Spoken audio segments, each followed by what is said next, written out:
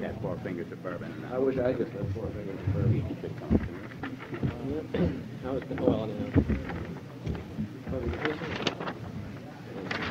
Oh, I think you are so good. Very glad to see you. Bob, why don't you sit next to your old friend? Defer to your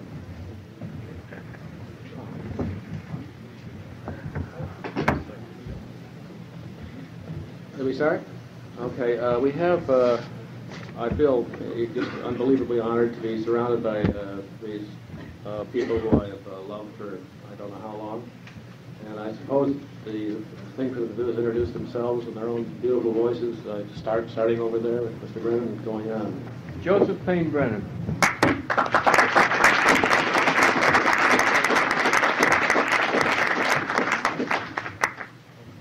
Bob Bloch.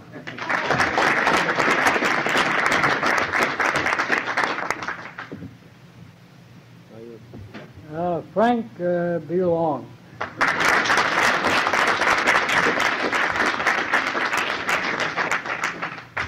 Manly Wade Wellman.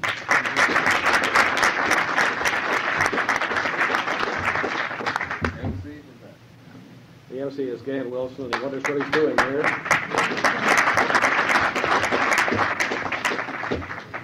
Uh, I've, I've, I've been given the job of moderator with no warning at all, uh, so winging it uh, in the same order, I suppose a little introductory remark uh, would, would be a good thing. Just whatever you want to say for, you know. Well, uh, honestly, I haven't thought of anything really intelligent to say on the theme of the panel. Uh, certainly nothing original. I I've forgotten the exact wording of it, but it seems, I believe it's the gist of it is uh, why do you write supernatural fiction, or, or why do you think you write it, or something of that sort. And uh, I haven't come up with anything specific and concrete. Uh, I just have the feeling that you can't pin it down to one concrete factor. I think it's uh, there are a number of factors involved, such as your childhood, your upbringing, heredity, and probably pure happenstance. Um, I think, in my own case, probably a strong element in it was my own childhood, which was uh, included the so-called Great Depression, and as a result was quite circumscribed and uh, frankly rather dull. My favorite uh, resort was the public library because it didn't cost anything. And I, I think as a result of this, I got somewhat introspective and uh, I th- indirectly probably this contributed to my daydreaming and later my writing. Uh, what other factors entered in, I'm not sure. Uh, possibly my Irish heritage. The Irish are supposed to have a an affinity for the supernatural. I think there's some an element of truth in that. Not only the Irish, but all Celtic peoples. And uh, well, beyond that, I think it's there's a strong element of just practicality involved. You you try different types of writing, and if you have a measure of success in one field, you tend to stay in that field. Um, I my first commercial writing of any consequence was actually uh, Western stories. But the old-time Western pulp market disappeared, and uh, I was literally forced into another field, which turned out to be fantasy, excuse me, and supernatural horror. I had a, a small measure of success in this, and so I stayed with it, among other things. Beyond that, I, I just don't know. I, I, I think it's a combination of these factors working together. Possibly there are others uh, I'm unaware of myself. But I think I'm taking up too much time. Bob? When I was a boy, back in Arkham, I too lived through the Great Depression. As far as I'm concerned, it wasn't all that great. when I got out of high school, by expulsion, I uh, was faced with a terrible choice that everybody had in the Depression. It was a dilemma. You either work or starve. I decided to combine the two by becoming a writer.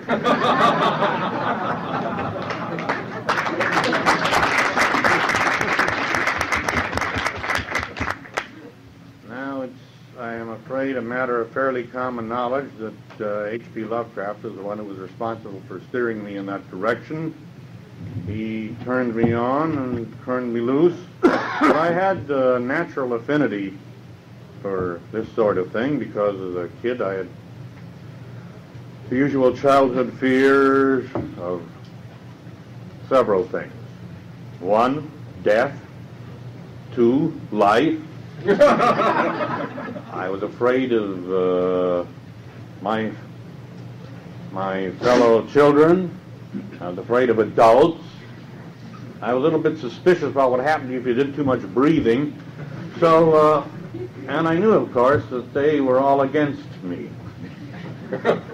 so I merely encapsulated this information and began to distribute it to other people in the form of fiction. My own paranoid fantasies were projected and exorcised, if you will. I found that I could exorcise these fears by giving vent to them in story form, and I found also that apparently some readers got a degree of exorcism. Occasionally, uh, I found I could learn to introduce a few laughs, give them a little entertainment along the way. Also uh, served as a salutary breather for me. But I'd always been enchanted by fantasy from because all of us at that time, and I think today still, though, from, other media, are brought up on fairy tales. Today it's called advertising commercials. But, in- but in those days, we, uh, we got it directly from the book, or uh, your parents your grandparents told you stories. There's a great deal of play acting in those days. You uh, dressed up.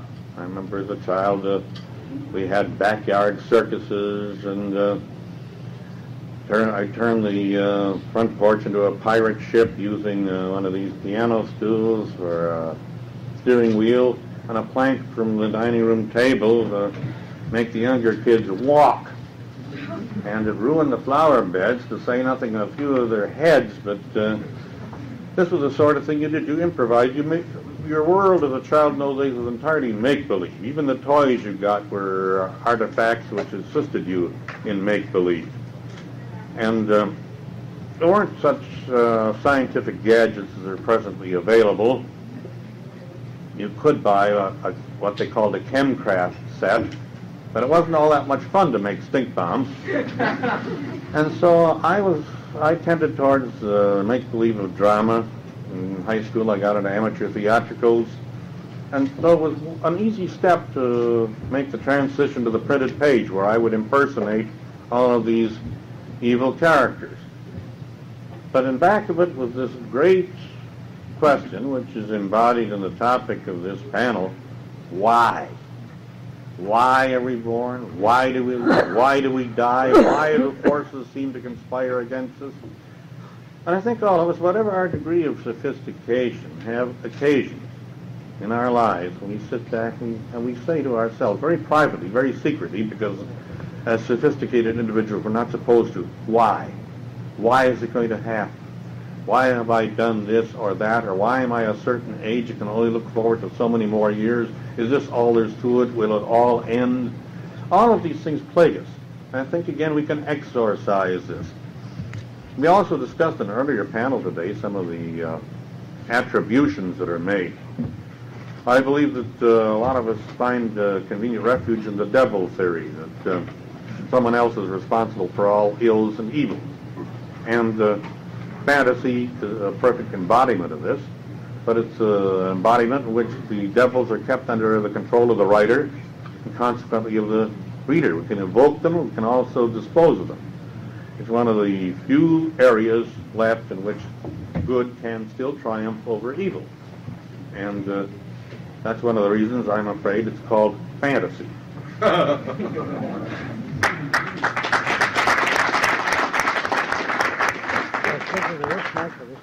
Both. Uh, well, uh, Robert just tells me I can speak into uh, both microphones, which might be just as well since uh, uh, oh. I arrived very late today, uh, today, and my voice has probably lost all of its resonance. But anyhow, uh, uh, uh, Bob Bloch has very has uh, said a very important thing, I think, about how we can't always be exactly certain just when our interest in the uh, in we, writing of weird fiction or supernatural horror uh, first arose. I know looking back across the years, I find it rather difficult to tell exactly at what point I became spe- uh, steered in that direction. But I know that from an early age, I was inter- I, I, my reading was all, always in the field of fantasy. I mean, I liked the Oz books like most kids when I was quite young, and the Brothers Grimm, the great German fairy story writers. I think that uh, the Brothers Grimm really didn't write for children at all. They were very sophisticated horror story writers. But uh, unlike H.P. Lovecraft, who read no uh, juvenile fiction at all, I did read a few things up to about the age of 10 or 12. Uh, as I say, uh, particularly the Oz books. But then after that, I read very few boys' books or anything of that sort. But uh, outside of this fanciful, uh, this uh, trend towards fantasy in my early uh, youth, I mean my early childhood rather, uh, I can't put any particular, I can't say with any particular, uh, uh, place any particular stress on the exact time when all of this began. But I, I feel that I was probably destined from an early age to be more interested in the imaginative aspects of reality than in uh, the down-to-earth aspects.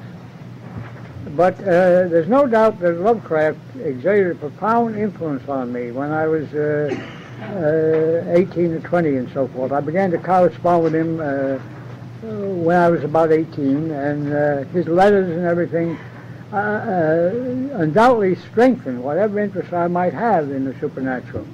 But uh, Poe always fascinated me. Poe and some of the early American story writers, Bierce and so forth. And I, unquestionably had a great bias in that direction. But I read all kinds of books, as so many youngsters uh, do, and I, I particularly liked adventure stories and sea stories. And I think adventure in, um, uh, in all corners of the world fascinated me about as much as the supernatural or pure fantasy until my early 20s. Uh, well, uh, as I say, uh, there are so many, uh, so many uh, influences which can rage in that respect. It's very hard to put a definite period uh, at the time when you became more interested in the supernatural horror story and fantasy than any other kind of writing.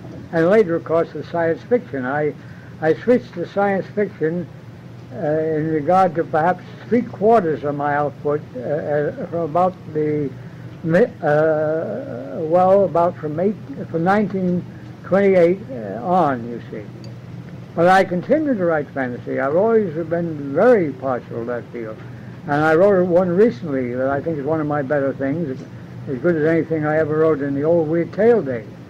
And I would like to write a great deal more of it, but there is not the market for it that there is for science fiction, unfortunately. I think there will be. I'm hoping that uh, uh, more and more people will begin to realize what an important aspect uh, of, of, uh, uh, how important science fiction is. Well, there'll probably be, like, like Bob, I arrived too late to be sure of precise weighting of this, this, this, this panel. Uh, but I think it was about supernatural horror story writing in general, you see. And I think we'll all have a great deal more to say about that as we, as we go on. Thank you.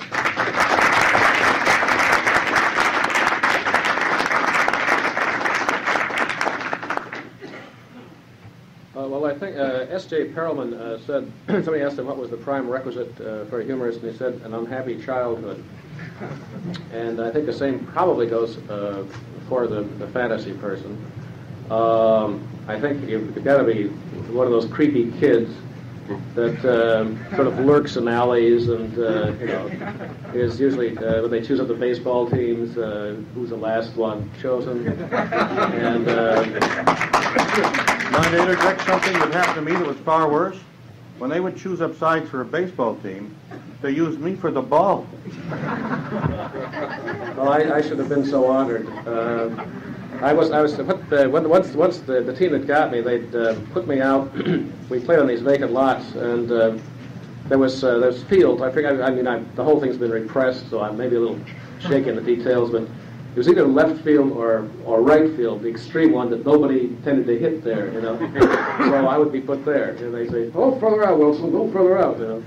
So I would stand there, uh, waiting for the street lights to go on, which meant that the uh, game was stop. We'd go home and I could listen to the radio and relax and be done with this horrible business. Um, so that, that's that's absolutely essential. Um, then uh, with this this this, this uh, strip I'm doing for the Lampoon, the, the nuts thing, the, the basic premise.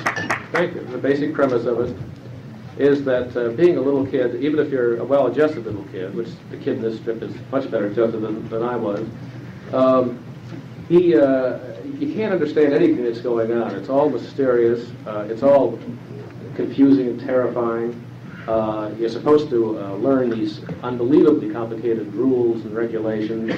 Uh, things are switched on you, uh, and you're just everybody's bigger than you are. That's one thing right there. This little tiny lump, and they can push you around, and they can outguess you, and uh, you're you're just you're just a loser. Um, so what I did, faced with this intolerable reality, was to escape into my imagination, and I've never come out. Um, I think, uh, oh yes, another essential is to join the Cub Scouts. That's good. Very helpful with the fantasy thing. Um, and then I, I think, uh, as uh, Mr. Bloch said, the, the element of magic comes in uh, very heavily. You, uh, you become a magician. You can take these things and you can sort of uh, incarnate them, and then you can push them around, you know. And uh, it's a very satisfactory uh, thing when you when you make your first ghost, and then uh, uh, destroy it. It's uh, I can't tell you how, how happy I was when I when I pulled that one off. That's that's enough of me.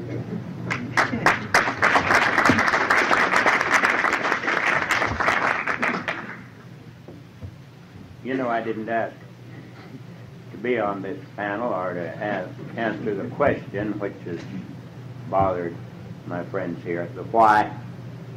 Once I knew a man who was going to write a story, fantasy or science fiction or both, anyway,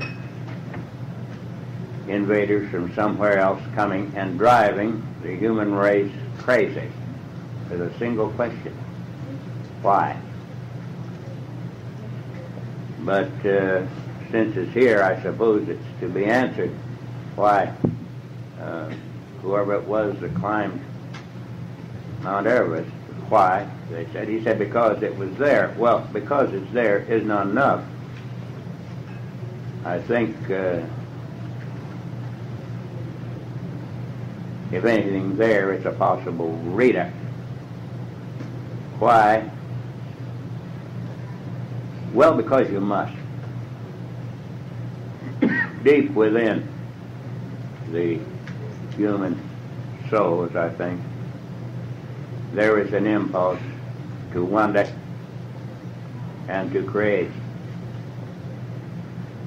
There's a man named Marshack who writes about prehistoric man. You know him? You know who he is? He writes beautifully. He studied for long years, bathed himself in it. The question of prehistoric art, not simply the beautiful, wonderful, strange paintings in the cave Cro-Magnon man and his fellows did. But far before that, the effort to make a flint point or a tool, not simply utilitarian, but sidelight.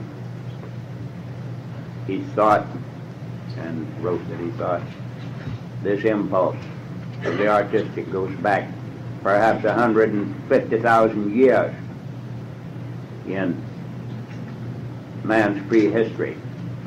Back to before, if you please, where there were men. Thing about this, I it struck me when I read it that uh, another art form is that of the story, imaginative story. Perhaps it is a universal thing in man, sort of like the impulse to religion, almost amounting to an instinct. Well, over the centuries, the millennia, civilization seeks to flog this out of us. You've been all talking about your childhood. Do you not remember that until the adults got to you,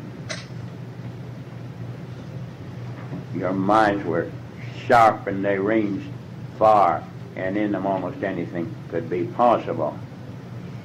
I remember back when we had to write stories in school. I, if I can go back, I have to go back farther than most of these people. This was way early in the 20th century, and they would ask us to write stories, and people would write stories about good little boys and how they did better than the bad little boys, and I would write peculiar stories about winged men fighting dragons up there in the sky and caves into which you would go and uh, what you would find there and a teacher, a very nice teacher, and boy, how she could whop you.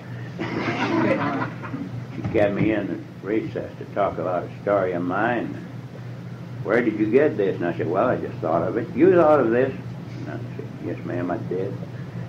And she said, if you don't stop thinking about that, you'll go crazy.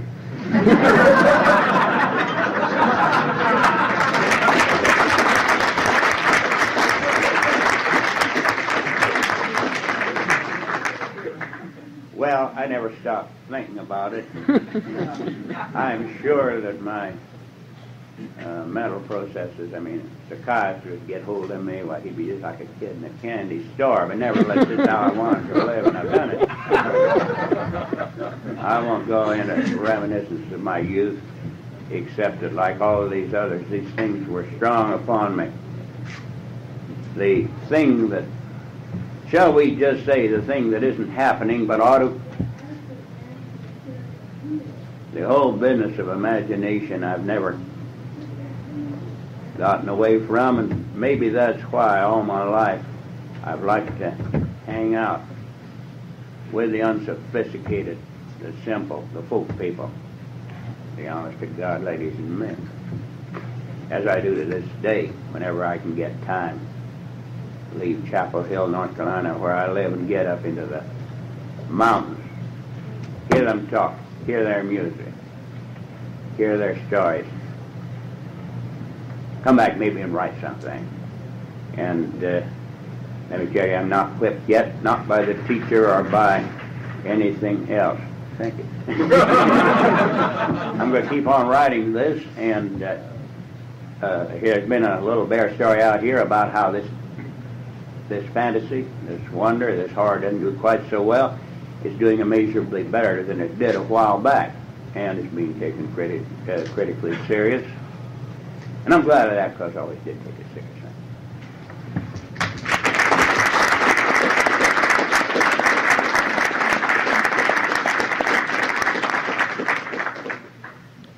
All right, now I guess we just throw it open to questions from the audience. Yes. I think almost everyone on the panel has written uh, both science fiction and fantasy. Uh, do the panelists uh, consider one of uh, the two hotter to write than the other? I suppose we'll just go down the line unless anyone wants to. Uh, Uh, Well, I, I'm just speaking for myself. Uh, Personally, I would, I, I think I've done a small portion of science fiction, but I, uh, I have and would find it much more difficult because I lack the, the background to write it as it's written today. I, I don't have the background in, uh, in the sciences, which is required in, uh, excuse me, physics, astronomy, biology, and uh, seven or eight other fields. So I personally would find it far more difficult, uh, primarily for that one reason. It's not that I have, I'm not interested in it or wouldn't like to write it, but I, I don't feel I'm well equipped to do it with the competition. I'd say there are probably two reasons why I find it easier to write fantasy than to write science fiction. The first is a question of early influences. For example, the work of Gahan Wilson, which I've been familiar with ever since I was a little boy.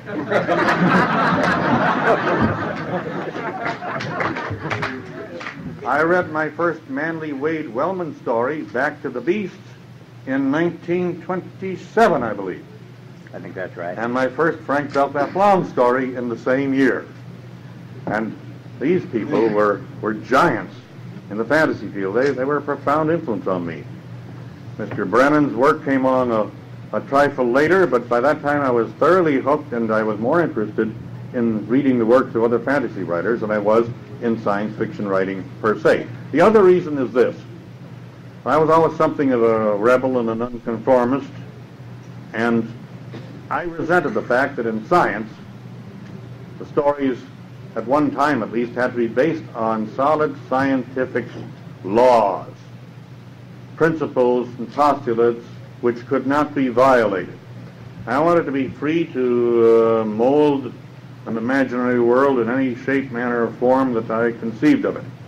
There was a much greater degree of latitude in fantasy. In other words, another way of putting it, I could be much sloppier and consequently enjoyed myself more. And I think uh, to the undisciplined mind, uh, fantasy will always have a, a stronger emotional appeal.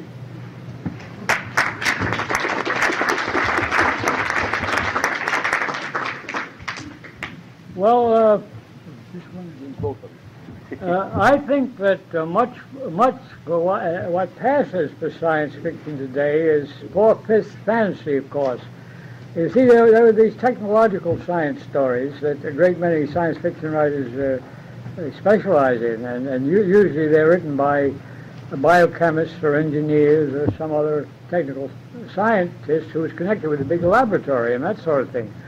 But uh, I think some of the best science fiction, I think it definitely comes in the category of science fiction, uh, verges on fantasy, and you don't have to do a great deal of research to write stories of that nature.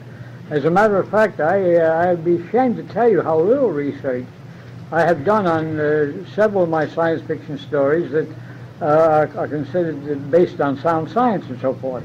You simply have a striking idea, and you go to the library and you read up on it. I have no knowledge at all. I mean, no extensive knowledge at all of physics, astronomy, chemistry, or any of the uh, biochemistry, or any of the modern scientific fields at all. My, I, I'm, I'm predominantly a fantasy writer, but I think I have done enough research just on the, uh, just because one particular story demands it uh, to make uh, some of these stories very convincing in that respect. But I couldn't hope to compete with uh, some of the technological scientists writing today. But I think the two fields, and this is of course a terrible thing to say at, at a at a fantasy convention, the two fields overlap to a very great extent.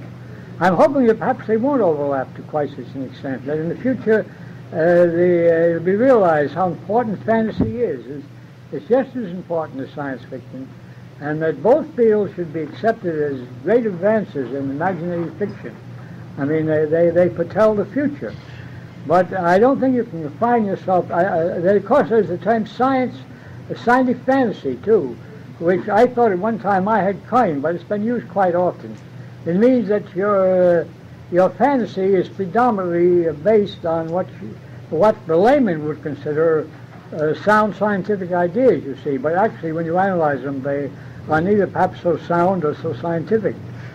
But as I say, if I had my uh, absolute freedom to, to write just as I pleased, I would probably write very few uh, science fiction stories in, in, in, a strict sense. They would be all scientific fantasy or the supernatural horror type of story. And I have a great bent on supernatural horror. I wish the field was more appreciated because I think that uh, Bob has done tremendous things in that field. There's no one can compare with him. And it's a field that should be more widely recognized, and I hope it is becoming so all the time. Even though it has been for 25 years or more, considered one of the most important uh, aspects of, of, of imaginative fiction. Uh, I think really the future can be even more tremendous. Um, so this panel is uh, one short. Uh, Mr. Carter isn't here.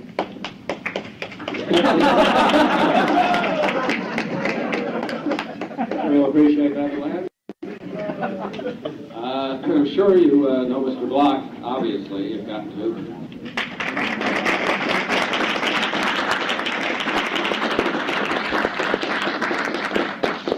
And Mr. Wollheim, you've got to know him. Who are you? I am uh, mysterious Gahan Wilson. Uh, hang out in Vermont Right. And uh, I am stuck with being the chairman of this thing by uh, Mr. McCauley. so, uh, it's about the future of the fantasy and horror thing, and uh, I have trouble saying horror because I come from the Midwest, so it tends to come out horror. so, excuse me. Um, and he uh, he said uh, to uh, it would be a good idea to sort of lean on the financial uh, end of it, the business end of it, uh, a bit uh, instead of just being aesthetic. And I think he's he's got an excellent point. The uh, the figure that sort of looms over this whole operation is, of course, uh, Howard Phillips Lovecraft, and uh, the bleak reality of Mr. Lovecraft's life was poverty. Um, and uh, I think it's a uh, unfortunate uh, truth that this this area, the fantasy area, and macabre fiction and whatnot, is plagued generally by very very low money. You don't get too much money for it. So uh, part of the uh, the motivation for this get together is uh, not just to venerate and congratulate those people we really really love and have done such marvelous stuff, but also to uh, take a, uh, a cue from the, the mystery writers of America and the science fiction writers who got together and uh, they award each other prizes and so on, and then you can put on your book uh, won so and so prize. And then this guy says, "Hey, well, maybe I'll buy it," you know. He does. so uh, that's that's that's that's the thing. I I, I, I think Kirby's absolutely correct. And I think that, uh, we should go into that the money thing, encouraging the, uh, the publishers to uh, publish the, uh, the fantastic stuff and you know expand into the to the horrific thing. And uh, there's a, a tendency to say, well, you know, it doesn't sell, but uh, you know, there's Rosemary's Baby and The Exorcist and a couple little things like that, which have done rather well. And uh, Frankenstein and Dracula continue to be uh, active, and uh, so you know, there's something to be said for it as a, as a commercial viable uh, field. So I'll, I'll just go alphabetically now for Mr. Bloch. When I got into writing was in uh, prehistoric times. and uh, we didn't even, didn't have typewriters. we would come out of the cave, we get a block of stone, and we would uh, hack something out on the stone. The editor would take it away and chisel it in the final form. well, millenniums have passed since then, and most writers are still hacks, and most editors are still chiselers.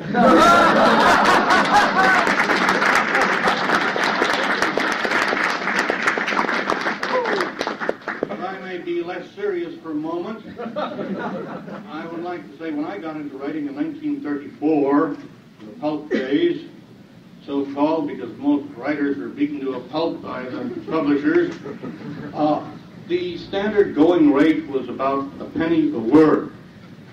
But at that time, of course, there was no television. Motion pictures did very little fantasy. Uh, there were no paperbacks. And foreign markets were practically non-existent.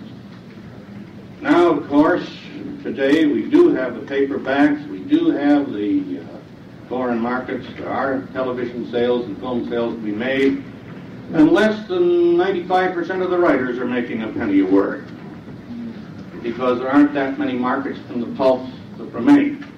Actually, the situation hasn't changed all that much. If one were to consider the viable markets for fantasy, one would realize that the once 25 cent paperback is now selling for a dollar and a quarter, dollar and a half, a dollar 75, in some cases two dollars and two and a quarter.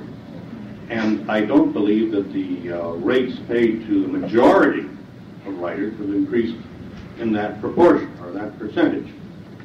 So there's still an economic problem, and it's a severe one. It's a serious one. Actually, that economic problem, I think, is, has more to do with the lack of markets than anything else.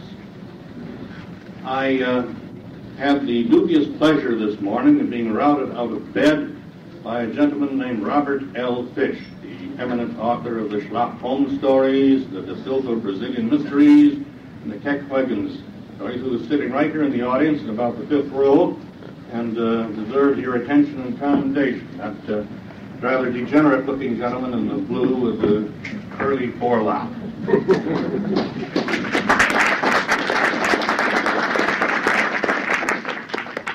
I merely wanted to point him out. You don't have to approve him. but one of the things that we were discussing was the peculiar fate of short stories. The fact that today, with so few regular markets open to a given genre, when we send out our material, we're not quite sure just where it's going to land. We'll write something specifically with one market in mind, and for some reason or other it's rejected, and it'll end up in an entirely different place.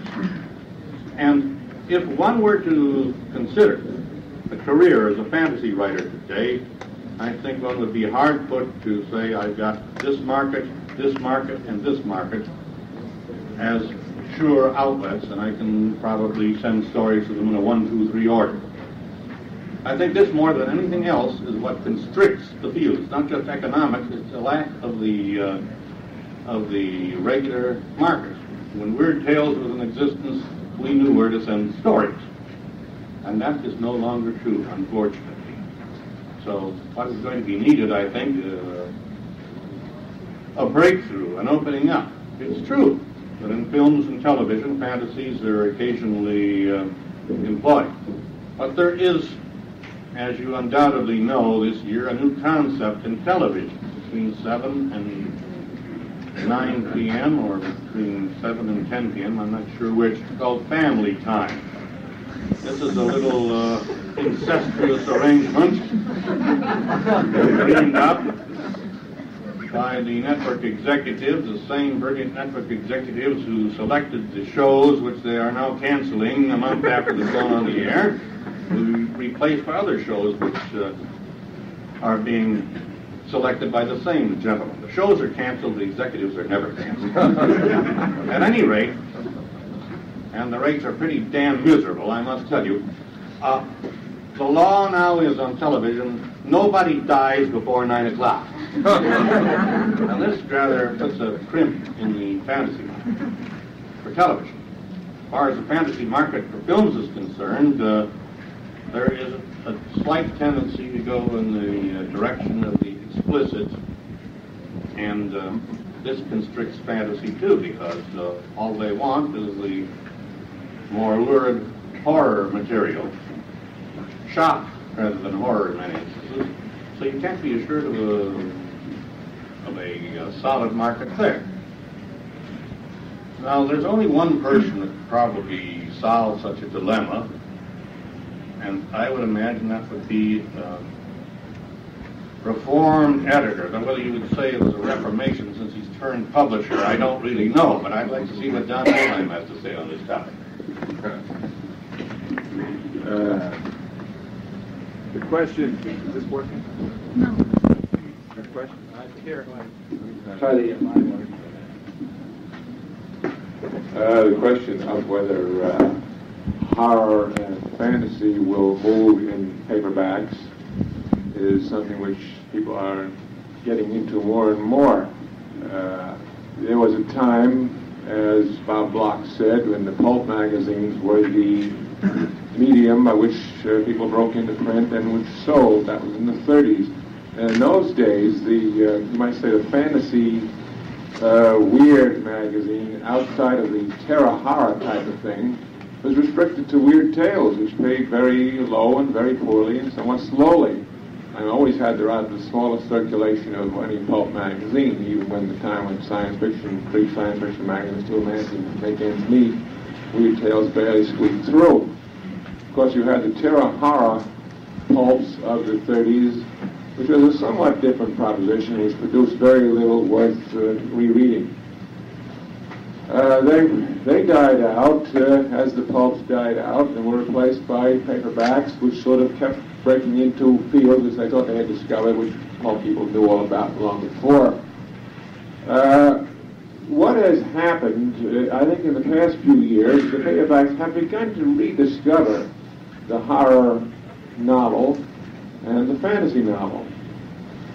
The fantasy novel, of course, uh, as distinct from the pure so-called hardcore science fiction, uh, made its big breakthrough as Tolkien, who is certainly not science fiction, and which proved to be a tremendous success and proved that there is an audience there for darn good fantasy uh, writing. Uh, an effort was made uh, to produce more what they called adult fantasy, and if Lin Carter were here, he could tell you more about that which seemed to boom for a while and which apparently has faded out, at least from what I can see. And again, that's something I'm not going to talk about. Uh, in my own case, uh, when I went into launching my own company, uh, I was faced with a rather difficult proposition. That is to say, I had to put out four books a month uh, of science fiction. And I also had to catch up with my distributor and my co-publisher's schedule, which is eight months ahead, which means I had to do like uh, line up for you know uh, uh, eight times four books in approximately three months, which wasn't easy, and accounts for one or two of the choices which I probably wouldn't have published today. Uh, one of the choices I made out of relative desperation to fill a slot was the year's best horror story, which was a British volume which I picked up for reprinting. And I admit that I looked at the packaging of the original volume. I sort of tried very hard to say this is really science fiction horror, but you know, for the most part, it isn't. Uh, and I uh, waited to see what happened when this book hit the stands. And interestingly enough, as the uh, reports came in, we found that it was doing quite well.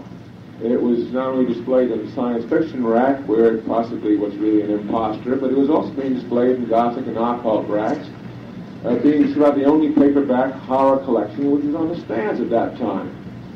And as if you follow the career of DAW Books, you'll know now that I have established this as a permanent thing. Number horror, best horror stories of the year, number three is out, and we haven't gone back to press with number one, which proves that there is an audience for the short, weird horror story. Uh, in other paperback companies, you'll find uh, hacked out series of the uh, adventures, new adventures of Dracula, new adventures of Frankenstein, and a number of other things which are definitely in the horror category and which I would assume from their continuation are being successful. Uh, I personally don't particularly want to go into that type of straight horror book. But uh, the question of fantasy as distinct from science fiction is an interesting problem. Uh, I am of the opinion that the line between fantasy and science fiction is being blurred more and more.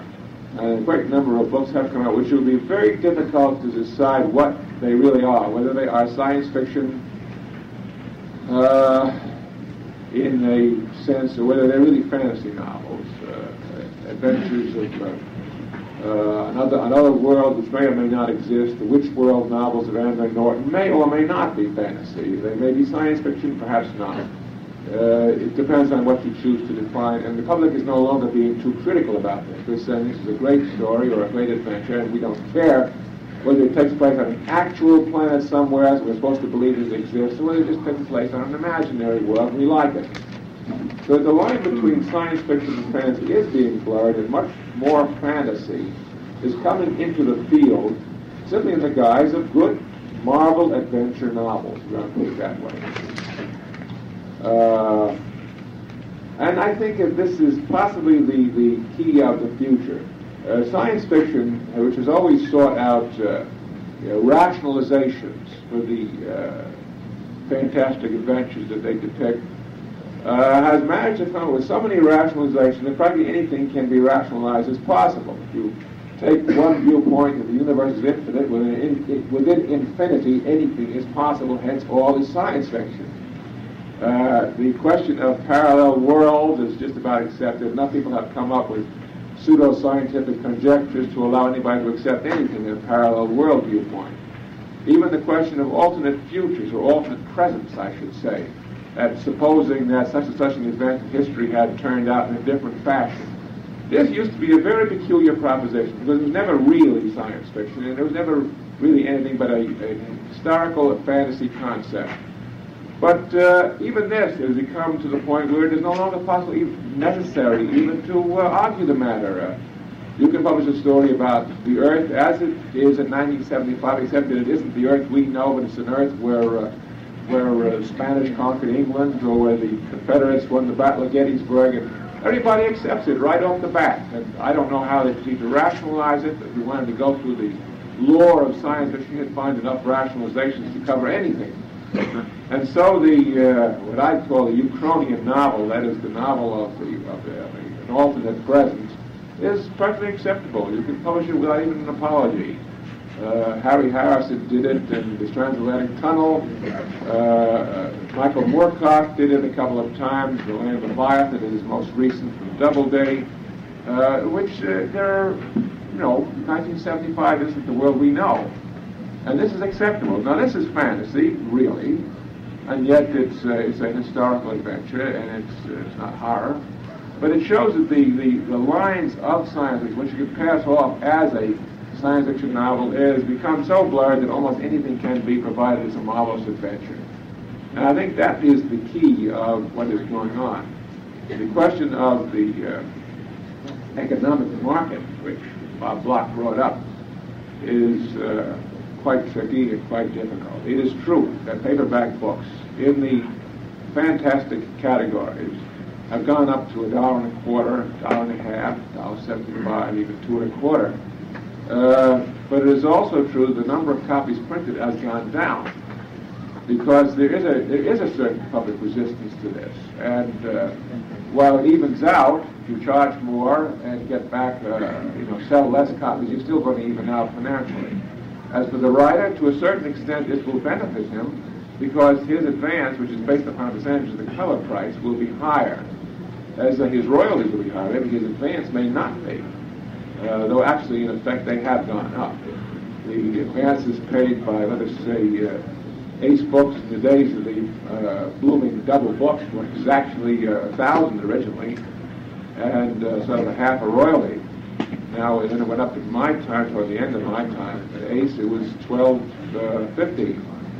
uh. Uh, since there are no double books now, the average, the bottom advance was probably fifteen hundred. The top advance could be anywhere as five thousand, six thousand, which probably doesn't warrant uh, a top-notch writer from getting into it, but by and large, it isn't too bad.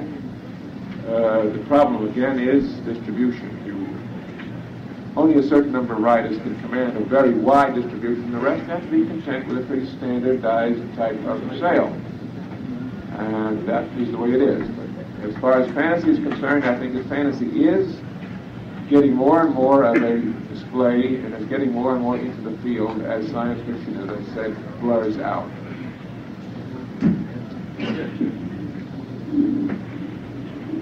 For the benefit of those of you who were asleep while Mr. Wollheim was speaking, I believe he made an extremely interesting point about the blurring of lines between fantasy and science fiction. I'd like to extend that. As we all know, a number of books have become preeminently successful in hardcovers because they masqueraded as mainstream fiction. They were actually science fiction, but they were not presented as such. And uh, some of the practitioners in the field, such as Kurt Vonnegut Jr., steadfastly and publicly deny that they are writing science fiction. This seems to be accepted by the critics. But it occurred to me, in line with what Don was saying, that the distinctions between fantasy and mainstream are also blurring. Today's number one bestseller, uh, Doctorow's Ragtime, is certainly fantasy in that it blends historical events with fictional happenings in a rather curious fashion. And this book, again, as Don can attest, has just been sold for the highest advance, I believe, that has ever been paid for paperback republication. So there is perhaps an opportunity for others, if they can equal this quality of achievement, to really implement the fantasy field properly. And there's also today this renaissance, this resurgence of interest in the strange, the curious, the supernatural. And we're all aware of happenings and circumstances in our very midst which cannot necessarily be accounted for. I know last night was Halloween, a time of strange transformations. I was following a girl down the street and suddenly she turned into a drugstore. But that's the way it goes.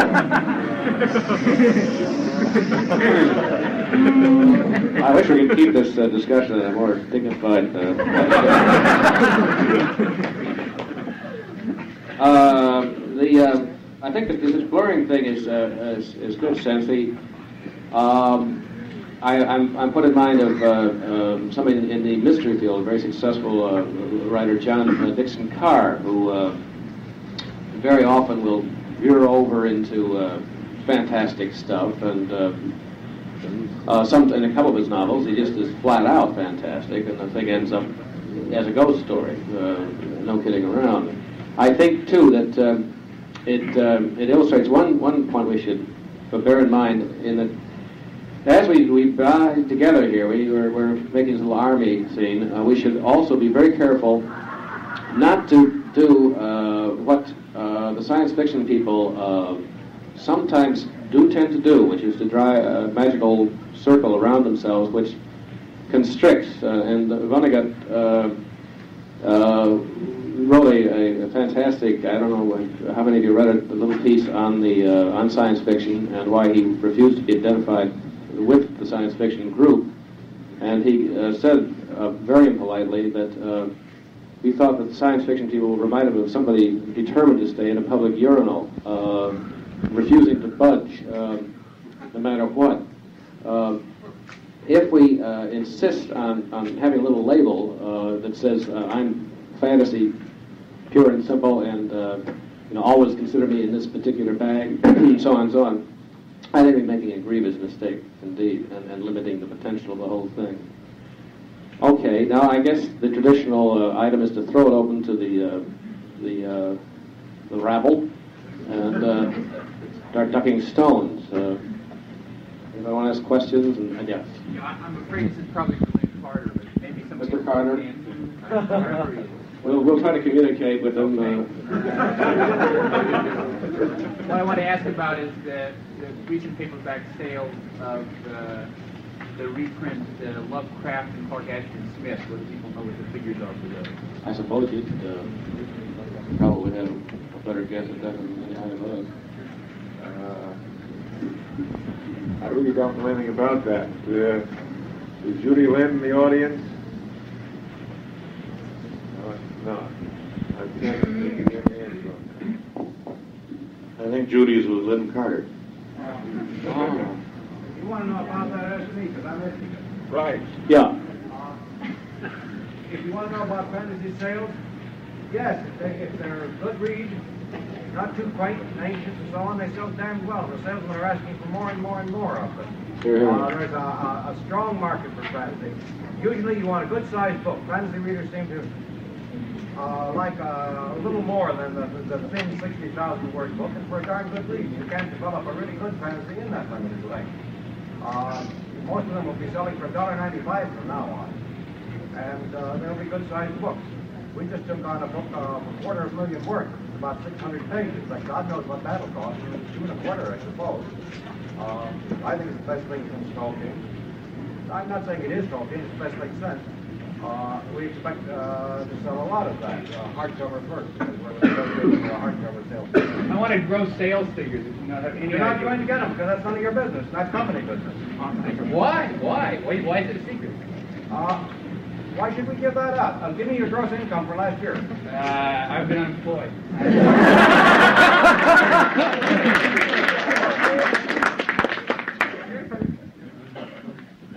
I know there, uh, with that, uh, that relationship. The, the, uh, um, uh, the magazine, I belong to a thing called the Cartoonist Guild, which makes all kinds of desperate efforts to uh, increase the, the living standard of cartoonists. And um, they came up with a incisive observation, which what they did was they compared the amount of money that the um, cartoonists got for an individual cartoon with the increase in the subscription uh, rates and the advertising uh, income.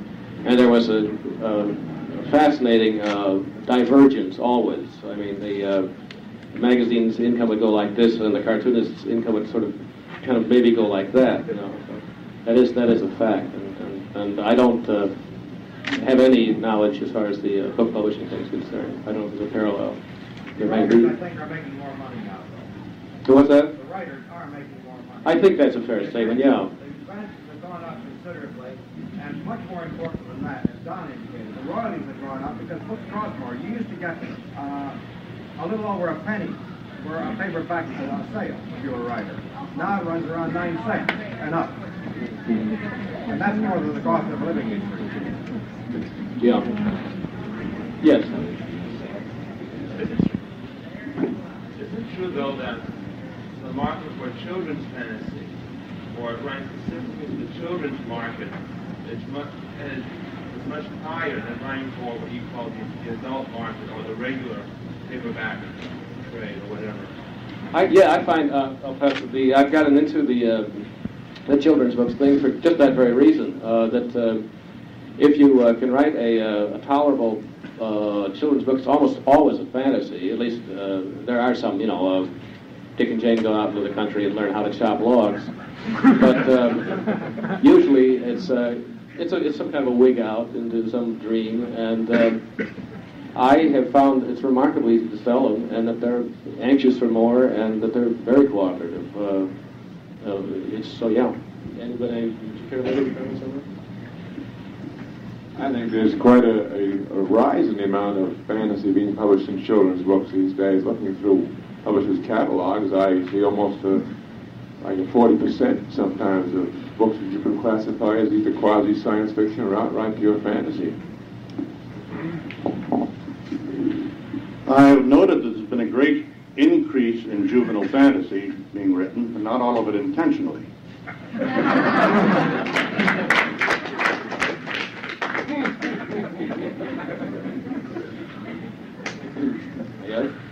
Well, to get back to the young man who was unemployed, uh, and also Lester, I think that perhaps maybe not too many people in this room are aware of the fact that in the paperback business, you could what they do when they don't sell a book is they tear off the cover and they send it back to the manufacturer, and they can do this any time at all. There's an un, up, there's an open-ended policy on it, and that's why it's a little difficult to figure income for authors.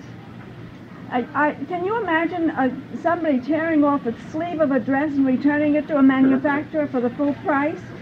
I mean, this is a, a an, an unbelievable system that they have, but apparently the wholesalers are run by mafia or their relatives, and there's no way of breaking it. And that's yeah, it does. It does. It's sort of a kind of a, a Freudian giveaway to their basic attitude to their stock. I think so they can't wait to tear the things apart. Um, yeah. Um, I know that people like Harlan Ellison specifically in the science fiction field, and I, I don't want to get into that because I know it's fantasy. Good. Um, okay, uh, has deplored the fact that uh, science fiction, this tending to blur that you've noted, uh, getting into mainstream, uh, would ruin the integrity of the field itself. Do you feel that this uh, would happen in fantasy also? I realized that the sales might go up if you could if the uh, borders tended to blur between between strict fantasy and mainstream fiction? Do you feel it would ruin the integrity of the field? No, I think that uh, the classics uh, in the field have uh, very. Sometimes they come from what you might call the field, but uh, very often they come from uh, no field at all. I mean, Bram Stoker was a, a showbiz agent, and when he wrote Dracula, and uh, uh, Mary Shelley was, uh, you know, had a bad dream and so on. So I think that the, the fantasy is, is, just it's a viable thing. And the, the, the Vonnegut premise is correct, that uh, if you uh, mistake being this label for doing something that's valid, uh, you're making, you're, you're just, you're taking, as the Nostos say, the pointing finger for the moon. So if they see on the back spine it says Gothic, or it says Western, or it says science fiction, okay, they know where to put it. If it doesn't say anything, they don't know where to put it, and they either send it back or they stick it in a lot of mainstream stuff, which may have no relationship to what the, the reader, the would-be reader's looking for. So the, there's a sort of compulsory classification that it does continue, uh, at least in the paperback field, and it's frankly a vital thing for paperback publishers to do this. I, by the way, I think that some, the uh, with some of these uh, magazines I've they should, instead of writing Gothic or something, they should work out little symbols you know, for the illiterate ones. I have a horror story in that connection. I wrote a mystery novel two years ago, which is horrible enough in itself, but I made the mistake of titling it American Gothic. In paperback, I have seen this not ever on the mystery shelf. It's either in the Gothic section or under American history. I, I wonder if any of you would uh, comment on the significance of uh, the emergence of non-newsstand paying fantasy markets, you know, like Whispers. I've of six of them now that say a penny a word. Do you think this will have, have any significant effect on things? I, I do. I think that uh, uh, efforts like Whispers are uh, extremely uh, healthy, and uh, um, yes, I think they're excellent. You're sort of pumping energy into the uh, the field, and uh, as Mr. Bloch was saying, it's a, uh, a market where you know what's uh, what's being bought, uh, so that you can write that sort of stuff for that sort of a market. I think they're marvelous. I, I wish Godspeed to anybody who gets into that. It's a great and necessary encouragement for young writers, and I'm, I'm all for it. I think that, that indicates that there is a demand for the short story, which is not being supplied by professional publications. Uh, the best horror stories of the year and the best fantasy stories of the year are being driven to draw on sources like that because there just aren't enough uh, good fantasy or horror short stories available in professional publications. So this is this is a very excellent development. I've just been told that the gentleman over in the corner there has been trying to get uh, my eye and has failed. Uh, is there a question to that? I don't know. Somebody over, Mr. Bloch, somebody over here. There must have been an illusion or down there. Yeah. Two brief questions. Mr. Wollheim had success publishing the uh, horror stories, which was originally a British publication. Uh, both Fontana and Pan put out a uh, series of horror stories, uh, which you can get mail order through Britain or up in Canada if you happen to be buying books there. But I've never seen any of those on the American market. Wondered why uh, they weren't republished uh, in this country, and also what the uh, what the possibility would be of republishing some of the uh, out-of-print pulps. Uh, we had that in, with, with some of the Shadows and Doc Savage, etc. Why not some of the short stories that appeared in Weird Tales, uh, or even issues of Weird Tales, uh, reprinted as paperbacks? Well, that's it's a possibility. The, uh, I know that in England, the uh, book of collected ghost or horror stories, such as you mentioned, the Pan collection and others, have apparently had a steady and loyal audience. Uh, this has evidently not been the case in the United States. Uh, perhaps there's a market which uh, I would say my competitors are overlooked. Uh, I found by more or less accident. Uh, it exists. There is a market here for that. Why didn't anybody in paperbacks pick up the Pan book for American editions? Uh, the answer to that is that I don't know. Uh, I think the, thinking back on my own experience as an editor, I would say that an editor who comes up with this idea has got to persuade the publisher. The publishers of paperback companies are not usually book people. They are accountants. They are high-end executives. They will look at the book and say, well, why, if this is so good, uh, do is it that none of our competitors publish it? And they tend to draw back. Why do we do this? Look, we can put out a Gothic novel or a Western for the same price and be sure that it will sell. We don't know that it will sell. And these men are, are working in dollars and cents and hard facts, and uh, they, they draw back. They draw back from experiments of that sort. They have to.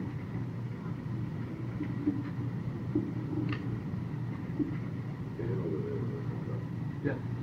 Uh, the gentleman who asked, uh, why hasn't anyone in this country published the uh, either the Pan or the Beagle collections of horror stories? Well, a few years back, uh, Berkley published about three of the uh, Pan horror stories, and uh, Beagle Books, which is a uh, subsidiary of Ballantine, I think, has been uh, doing uh, the uh, Fontana series for about five years now. They've also been doing Robert Aickman's uh, series of uh, the best ghost stories as well. So that they have been reprinted in this country. Up to about two years ago, I was finding on the newsstands all the time. But I, I don't think that uh, Beagle was, uh, or Berkley has been reprinting them since then.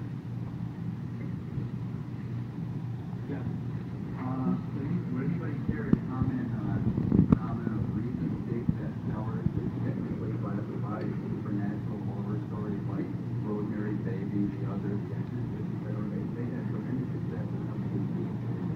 Well, I, I can start out. I think that uh, that and the occult uh, explosion, as they call it, is uh, usually this the fascination with the uh, uh, devils and uh, strange wonders and eerie powers and so on coincides with the societal collapse.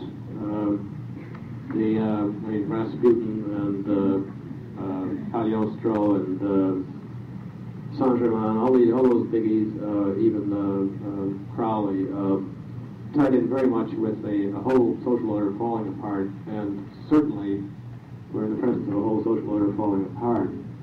Uh, a lack of um, ability to believe, and I think the Gallup poll just got through a, a depressing survey, and they found out that the general American public's uh, get up and goism is uh, at the lowest that it's ever been since they started. New York Times had a uh, survey, and same kind of a thing developed. So that uh, it's very people are looking around for the devil. I mean, and they want they want to uh, get him and get him good. So I, I think probably that's one good reason why The Exorcist and, and uh, and Rosemary's Baby and so on is, is going on. I think also uh, they were uh, whopping good entertainment, and uh, I think people just love to be scared. Really. So there's that. There's a more mundane explanation. The books that were mentioned had tremendous exploitation. I don't think that at this late date it does any harm to reveal what was very well known in Hollywood at the time, that when Paramount bought uh, Rosemary's Baby from Bill Castle, who had it auctioned, they sent uh, set aside a certain sum of money. They sent it to all of their exchanges, all of their film exchanges in the major American cities, and had the employees go out and buy X number of copies of this book in hard covers, which automatically made it a bestseller, which automatically brought it to the attention of paperback houses as an important work. And this is not new, nor is this a put down of Paramount's procedures, because this is precisely on a smaller scale what a certain writer named Jack London used to do about the turn of the century. He, he had been a, a, a hobo and an itinerant, and he happened to have friends in many, many cities. Whenever he was about to publish a book, he would send money to these friends and say, go to your bookstore and buy two copies, and lo and behold, he became a bestseller. I only mention this sort of thing because I know Harlan isn't in the room and won't uh, try. Uh, I, I uh, uh, remember listening to a publisher, Shelby Nayless, telling me that they had uh, somehow or other figured out which of the bookstores uh, the New York Times go to to clear out their uh, New York Times bestseller list, and uh, they besieged them and bought this this uh, sort of a bummer book, and they got it on. They worked. I believe it. Hands, hands. Yes. This is for Mr. Wollheim.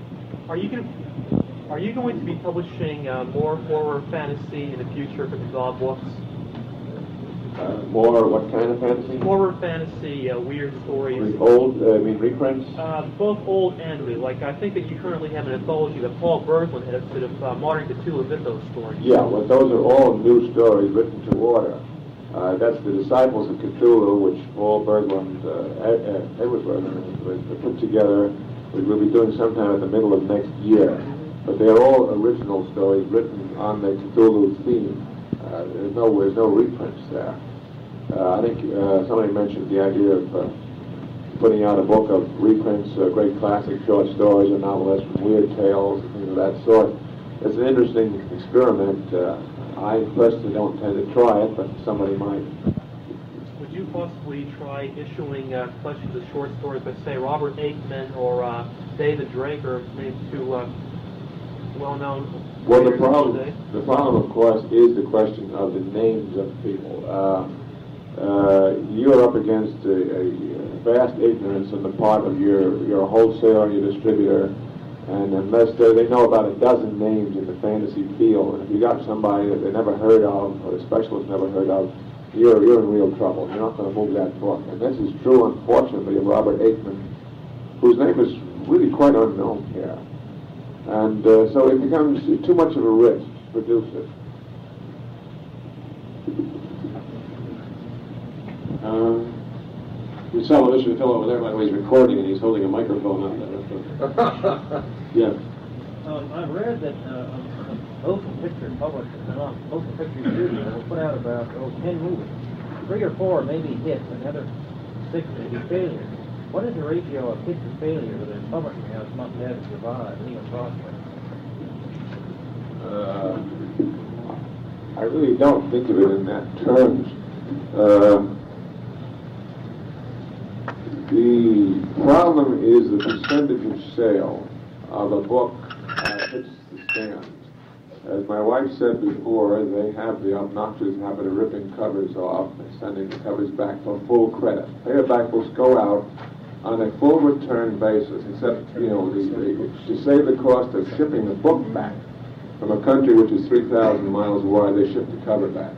And I give them full credit on that, and they sign an affidavit that they have shredded the rest of the book, which gives me a little bit of an instant. If anybody here should happen to find paperback books without covers being sold, this is an illegal and criminal operation, and to please report it to the publishers involved, because they act continuously to break this kind of racket up.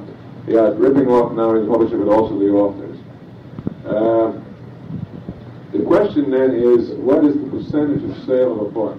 Uh, with an average title, not a bestseller, but an average good title, let us say by a good writer and a good novel, uh, you may still, with luck, get 60% sale because you're going to get a certain percentage of covers torn up that never ever got on the newsstand at all. A lot of these boxes are shipped into a wholesaler or shipped out to a retailer, and he will say, well, I got no have no space in my room, I never heard this author, and we've got five, 15 bestsellers moving fast. Don't even open the boxes. Ship them back, and they'll ship them back, and they'll rip the covers off. The books will never appear, and you get a percentage like that. Uh, there was a breakdown in Publishers Weekly of the average sales of the big of the major five major paperback houses. I think Bantam was the biggest paperback house in the business, occupying something like 16 or 17 percent of the market. And they're, uh, they had an excellent uh, uh, average distribution. They got 65 percent of their books out, so which means that they still got like 25 or 35 percent covers torn off. The company that distributes me, with whom I co-publishes New American Library, has a running average of 50 percent. Uh, which means that some of their worst books probably sell 30%, some of their best books sell 80%, and it works out that way. But uh, it's, it is a very rough and competitive and ugly and chaotic scene. Uh, my wife before said mafia. Well, that's not fair. It isn't mafia, but these are distributors who built and fought and kicked their way up by newsstand distribution, and they still have a pretty hard-boiled attitude towards it. Another problem is that uh, bookshops have only so many slots to put books in. And the books are being produced per month perhaps three times more than the actual slots that a bookstore has. So the life of a book, yeah, when it does get on sale, it may not be more than sometimes three days and sometimes two weeks, but little more than that. Uh, perhaps the saving grace is the growing uh, creation of specialist science fiction fantasy bookshops in this country. Where science fiction will have a, a lifetime sale of years even. They'll keep it going as long as people are interested in buying it. This is unique. This is very special. The average paperback book, if it's not a bestseller, is lucky if it's around for a week and a half. I, I think that's a, a very good point. The, uh, if uh, for those who are uh, effective uh, organizers and workers in this group, uh, that uh, the, the specialist bookshop is a heck of a good idea. And if they could somehow or other get get them located in, in the major cities, you could really revolutionize the this business dramatically. Yeah. How many of those bookstores are there? I've never actually seen one. Well, there's one in New York, uh, and there's uh, uh, One in Cambridge. one in Cambridge, one in Los Angeles, One in Boston. one in Boston, One in Toronto. Boulder. Is there one in Boulder? Yeah. One in Boulder. Philadelphia. Uh, as well, I guess about 12 or 15. So let's make it 30. Uh-huh. Another figure, hand? And Well, the specialty stores, but aren't, you know, the rise of these um, specialized paperback houses, paperback stores also perform the same kind of function, like paperback Smith, when they're huge, you know. Yeah, I think sure, yeah. Absolutely. Yes, they are. They- Yes. Well, I think that the science fiction uh, books do stay on the stands a little bit longer because most bookstores now have a science fiction section, and I, I, I really believe that they do stay on longer. Well, I think the point was made back there by the, uh, the, uh, uh, don't be afraid of the label as a, as a commercial uh, way of, you put it into this, this, this box and this bin and it says science fiction and gothic and whatnot, mystery, and they do, they do stay there. So that's, that's true, that's good, it's a weapon, it's a good weapon.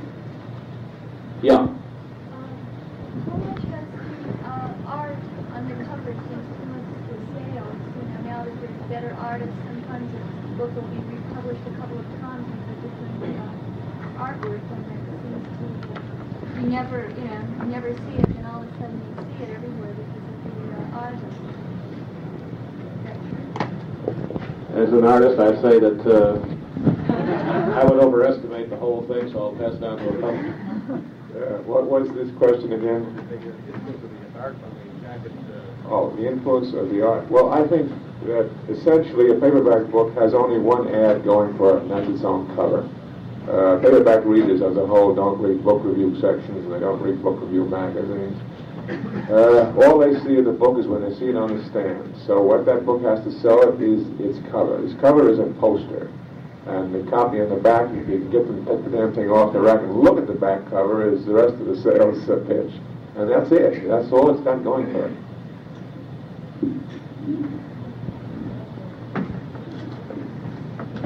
I think that in many instances, when I have uh, fallen among thieves and listened to the conversation of editors and publishers, that about 70% of their shop talk is devoted to covers and cover artists. And as Gahan Wilson, the poor man's Richard Upton Pickman, just, uh,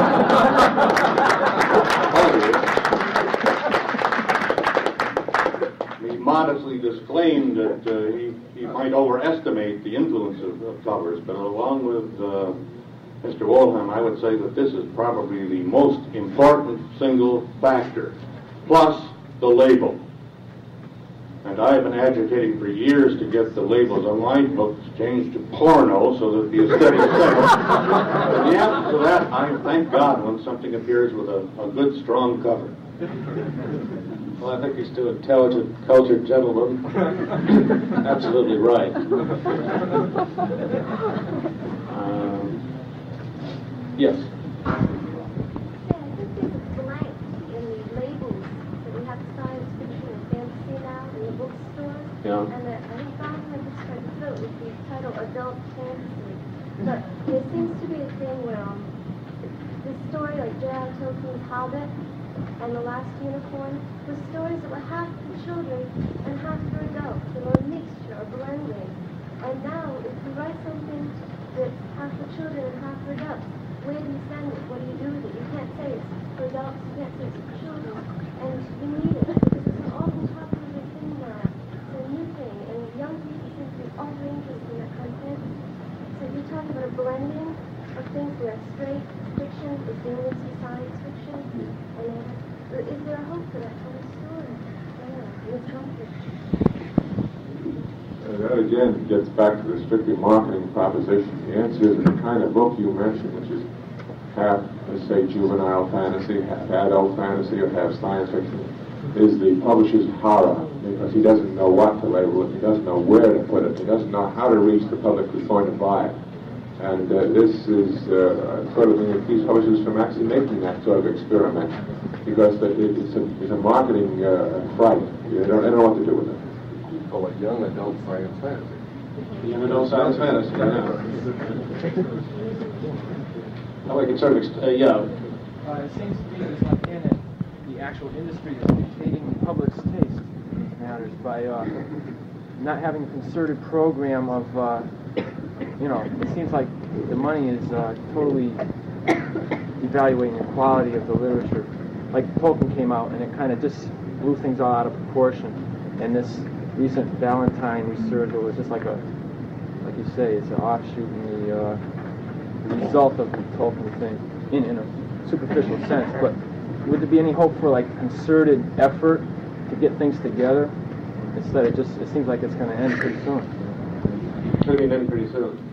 Well, I mean, uh, it just seems like uh, no more classics are coming out. Well, I don't think, I think one of the, the, uh, uh, what's happened in the publishing thing generally, for sure, is that the, uh, as uh, Wollheim says, that the money people are in charge. And, uh, I mean, they're, you know, the uh, Quaker Oats people own the publishing houses, and it's just, it's, it's another commodity.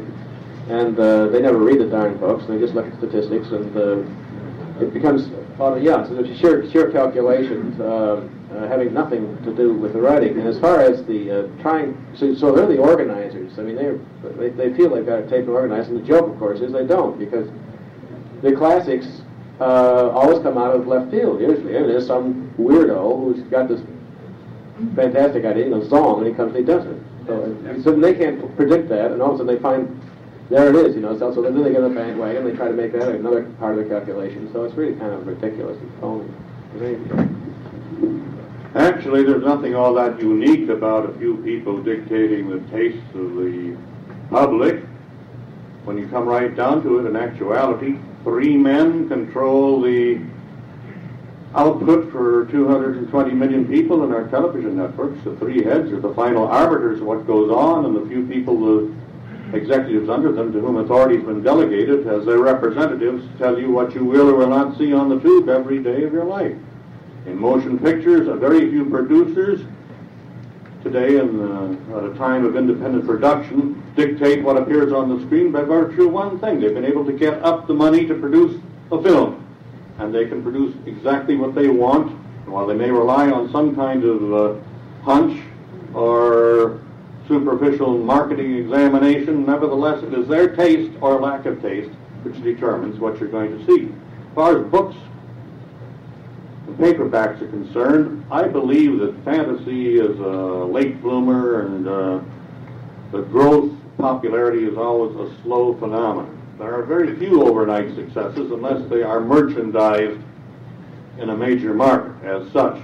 But even Tolkien took several years really to catch on the college campuses. I think the college campuses is where, where it's at today for fantasy and science fiction. In my uh, prehistoric memories of childhood, I recall that I discovered fantasy in the only place that you could discover it in those days, the public library.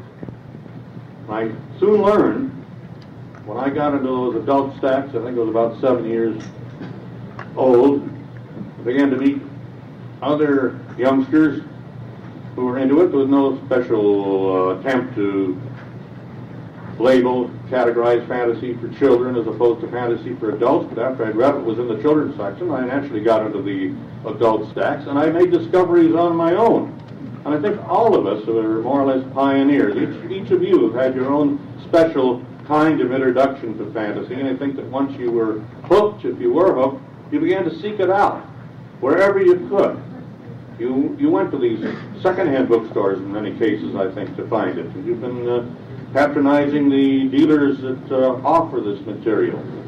But it, the big problem, as Don pointed out, is that the life expectancy of the average paperback is so short, and the life expectancy of the average novel is equally short. The juveniles are constantly reprinted because uh, the publishers realize that there is a new and growing, literally growing audience for them, which uh, is renewed every year or so.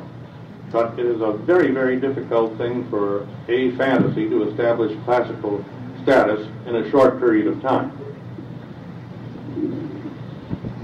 Uh, I, I thought that my Oyster Rolex cost more to repair than I, uh, I spent for it in the first place, so I haven't got an idea what the time is. Are we, uh, where are we as far as the... So are we at the, uh, sort of the time which is closest? Uh, okay. So is there any, any last flurry of, uh, yeah? Mark's comment about taxes being in college would go by without commenting, but it was in the high schools as well. It's very fine courses in Johnson and Manchester, Connecticut. And then I also must say with great pride that Don is his own man and nobody dictates the policy of DAW books. And that's the way NAL said it. They said, any way you want to come, come. That's your good wife there, sir. okay, well, uh, thank you very much.